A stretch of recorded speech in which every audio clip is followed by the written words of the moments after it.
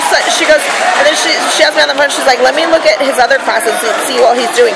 Oh, he's not doing. Oh, he is doing well, like that. I thought it was so funny.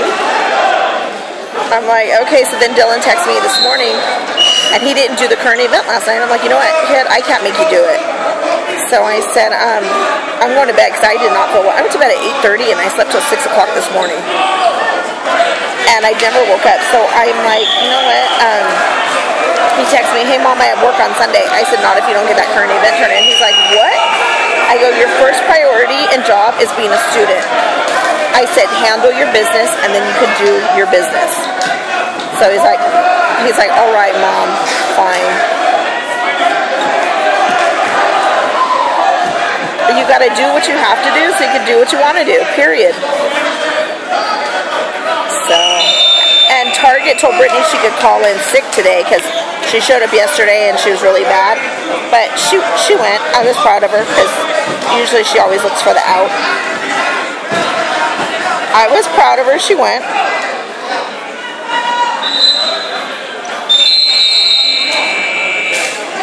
Well, yesterday she was really bad. She even asked me to come. She called me to bring her medicine to work. So I did. And when she took her lunch break, she took her medicine. But I was shocked she went today, too. Okay, well, I'm at this tournament. Okay, bye.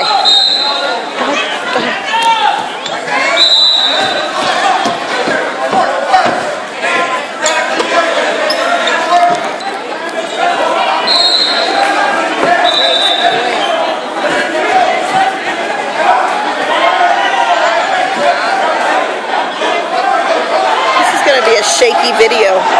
I was on my phone.